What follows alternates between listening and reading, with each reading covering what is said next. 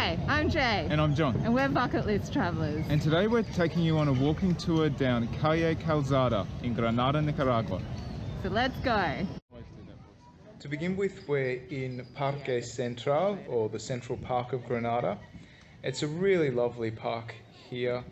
Plenty of shade, uh, which is really handy in the harsh summers.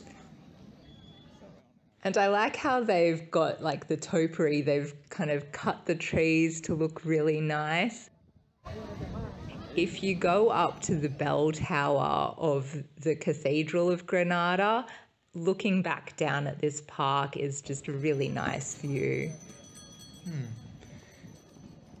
And this time of year is around Christmas, so you'll see on the left a bunch of big decorations or installations that are there for Christmas, and we're just going to walk past the Feliz Navidad sign. Which means Merry Christmas. Yeah. We've noticed that every day throughout December, from from what was it, mid December, they had more and more decorations coming out. So they just slowly added to them, which was nice to see how it kind of progressed over time. Yeah. We're walking onto Calle Calzada now.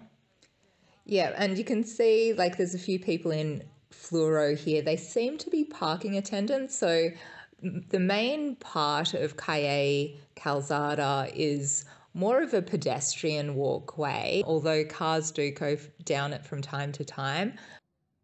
But this area is mainly for parking. So you can see that guy ahead on the right in yellow. I think he's a parking inspector or a parking attendant. Yeah. And there's a little bit of a road here, a thoroughfare that'll go off to the left. But once we're on the other side, then it's completely a pedestrian street. Yeah, so you don't have to battle against vehicles, only against people that are trying to get your business into their restaurants. Yeah. So, this is the main 8th street of Granada. There's a lot of restaurants and bars, as well as other little shops. And it's a great place to come. Wonderful atmosphere. Uh, and it gets really busy on weekends generally. You get a lot of locals or like Nicaraguans coming from other towns to have a bit of a holiday on the weekend. They'll come into Granada as well as foreigners, but not so much now because of COVID. Yeah, and so as I was saying earlier, this is around Christmas time, and this is the busiest we've seen it. It has been pretty dead the last few months, from what we we could tell whenever we've been down here. There haven't been too many people at all. Uh, but this is filmed actually on Christmas Day 2020. So there's a lot of people that have flocked to Granada to get the colonial vibe of the city. Got a nice balloon maker uh, that we just passed there. And yeah, it's it's a very popular place to come. Yeah. The food's good here, however, it is towards the most expensive that you'll find in Granada. And that's because uh, Calle Calzada has a tax on the food. And in addition to that, there's also the expectation of uh, service charges, which are often included in the bill as they are. And the typical service charge is 10% here. So that will be a bit more expensive than other restaurants that aren't on this street. So, this area does cater to the expat community as well and to tourists and the place really comes alive at night. So you can see above us, you've got all these fairy lights. So at night, they all get lit up, and the place looks so pretty.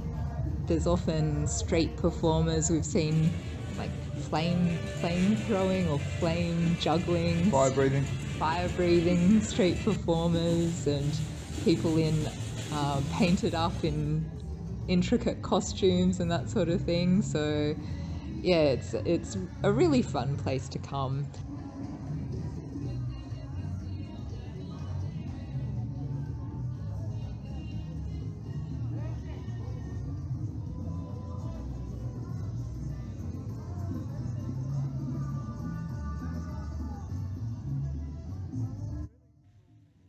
And we're coming to the end of the pedestrian streets section. So you'll see, oh, there's a, uh, yeah, there's a tuk-tuk or a what, auto rickshaw. The restaurants and hotels continue down this way, but you just got to be a little bit more careful because uh, cars can travel down this section. And even horse and carriages. Ah, yes. Yeah, so this is the street that you come down in order to get to the lake. So a lot of uh, horse and carriages will be taking tourists down down to see the lake from here. Yeah, it's a very scenic route.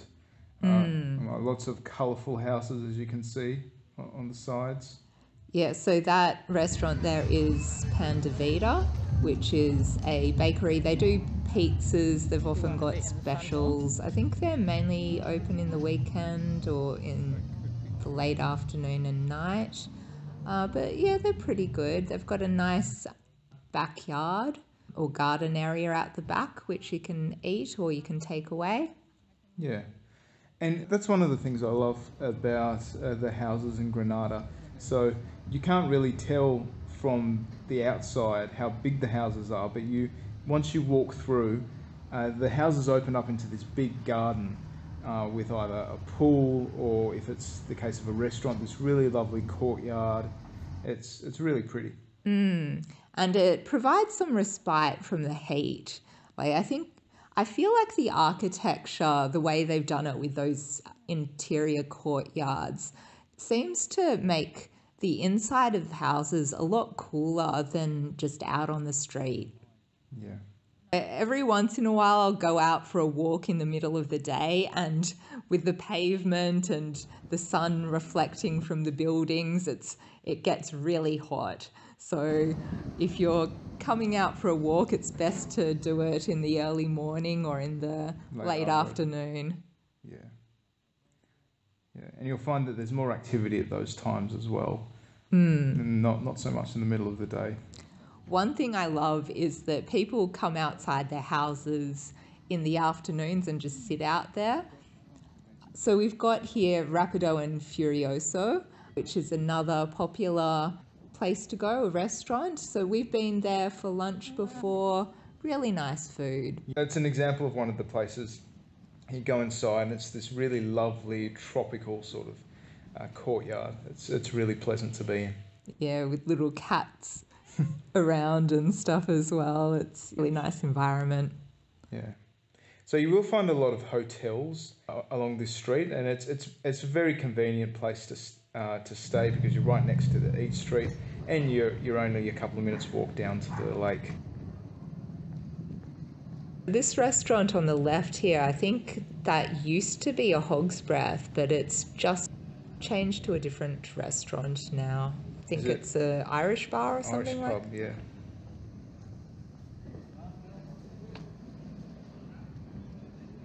So this this building on the left of us, or the, this church, is Cathedral Guadalupe, mm-hmm.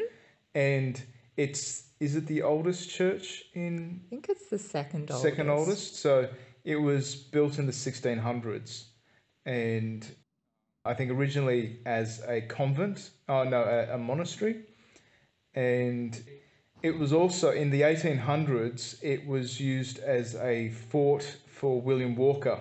So the the American who tried to take over uh, the uh, Nicaragua. So he was the president at one point, the self-declared president, Yeah. and he used this as like his last bastion.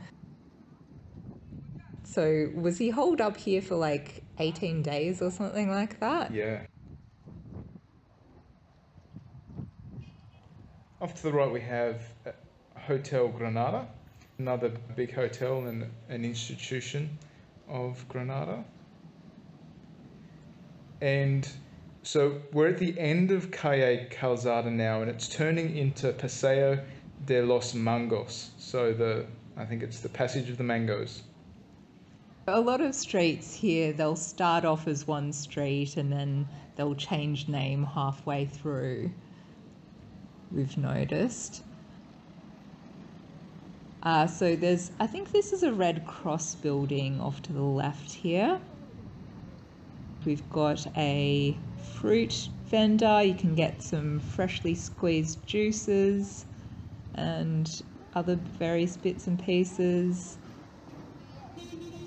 Hot dog stands are quite popular around here. We just passed one there. I think we've actually tried that that Mexican stand. So that was Horace. Ah, okay, yeah, sometimes it's located in a different place near a petrol station Yeah, on near- Highway 4. Yeah.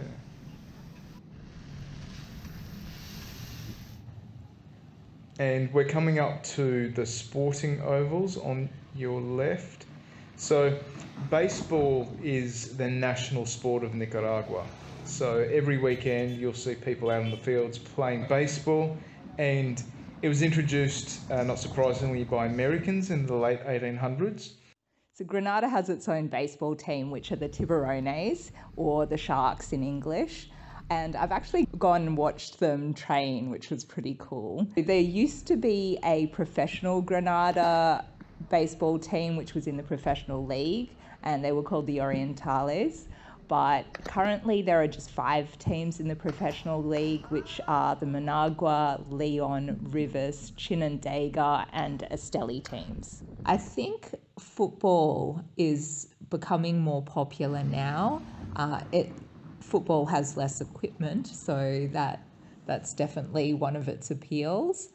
But baseball, there's baseball diamonds in pretty much every town around Nicaragua. Yeah, on our left here we've got an area that's uh, it's basically the the vendors for fireworks. So fireworks are really popular around Christmas. Every everyone on every street will have fireworks to light off around Christmas Eve and also New Year's Eve. And and this is the place in Granada you go to get them. Yeah, and also around the major festivities, including we, we just had La Purisima, which is a festivity leading up to Christmas, which celebrates the Virgin Mary. So, yeah, there were plenty of fireworks then.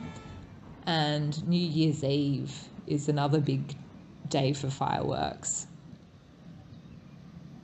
A lot of major parades will come down this street and finish off at the lake. So, Hipica, which is a horse festival or equestrian festival uh, that's very popular in Granada, that came down this street.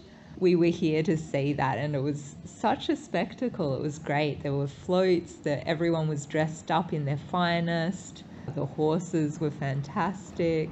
It, the equestrian culture here is very strong. Yeah, there's a very big horse culture in Nicaragua. Also, around the time of Hipica and the Tope de Toros, which is the running of the bulls, there's bull riding down uh, at the lake here. And we, we haven't seen that, but I'm sure that would be quite a spectacle as well. So, we're getting closer to Lake Nicaragua. It is the largest lake in Central America. Yeah, so it's a freshwater lake and it's actually the 19th biggest lake in the world. Oh, really? Mm. Geez, there's 19, 18 lakes bigger. Wow. And as you can see, this is a really beautiful area uh, on our right here. They've curated this park to, to look really nice. And we're very close to the Malecon, the Granada, or the, the Granada Pier. It's really pretty. You can come and sit down here, and there's a few benches and get some respite from the heat, take a bit of a rest, just enjoy the atmosphere, enjoy the beautiful weather. Yeah, it's really a beautiful day to be out and about, that's for sure. Yeah, so you can see off to the right, there's a statue with a someone's face. So that is the statue of Ruben Dario. So we'll just walk up to it now. Ruben Dario was Nicaragua's most famous poet. He lived in the the mid to late 1800s and he drove the modern modernism movement in Spanish American poetry. So Ruben Dario had a very fascinating life. He started reading from around the age of three, and by 13, he was writing poetry for publications. He traveled the world and worked as a diplomat for the Nicaraguan government, as well as one of the most prolific or famous poets in Nicaragua or in Latin America. I think he was one of the most famous in just the Spanish language. He's revered all around the country. This statue on- our right here is of Francisco Hernandez of Cordoba.